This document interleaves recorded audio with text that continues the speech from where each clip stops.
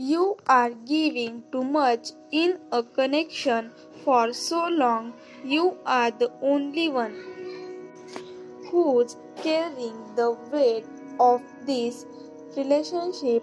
You tried everything you could, but still things are not coming in your favor.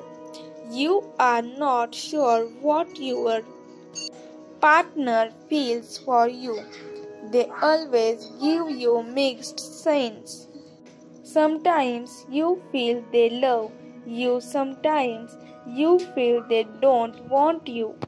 But you are losing your value because of this situation.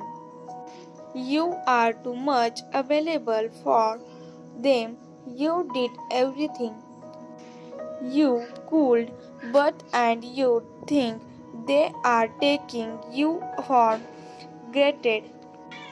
The truth is, they want you in their life, want to tell you the truth and sort things out. They know their life is squared up without you.